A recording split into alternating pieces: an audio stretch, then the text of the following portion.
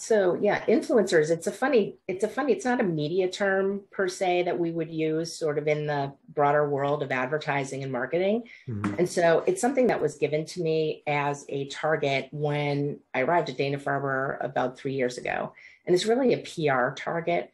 And so to understand who these people are, there was some research that had been done, a really good piece of research that identified these people as uh, national oncologists, other researchers at other institutions, potential staff and faculty, people who write grants, people in industry who might want to partner with us, um, all these kinds of partnerships and so forth. And it came under this category of influencers. And so we did had to do a lot of work to understand who are these people and how can we reach them in media and so we had to translate that into a media mm-hmm. target because obviously you can't get simmons research on you know, or MRI, MRI research uh, on right.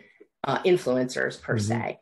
And um, and so we do quantitative studies to see what our impact is, but what's really most interesting to me is the qualitative research that we do because it's hard to get a quant study with these influencers. You know, there aren't tons of them. So mm-hmm. um, we do this uh, qualitative research uh, periodically and have the one-to-one discussions and see how things are shifting and what they're hearing and so forth. And that's really the most insightful i think for us in understanding influencers and what's important to them and what they're hearing or, or understanding about dana-farber.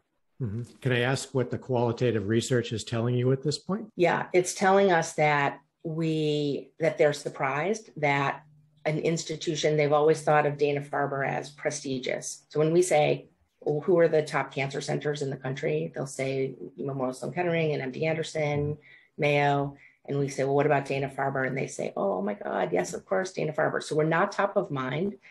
And then when we say, well, what do you know about Dana Farber? They say, well, Dana Farber is very prestigious. Okay, great. Well, do you know anything specific about Dana Farber? No, not really. They're in Boston. So, oh, maybe there's, you know, associated with Harvard, something like that.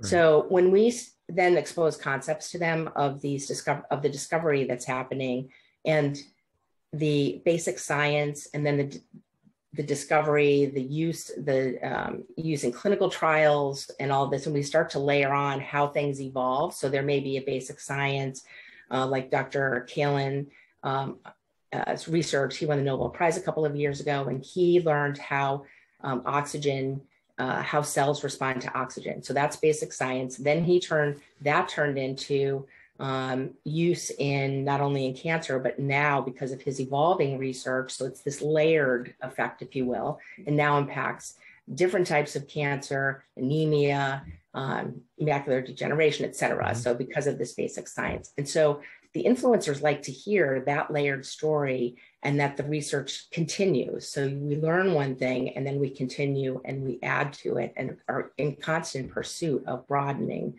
um, broadening the uh, focus, if you will, mm-hmm. and the impact.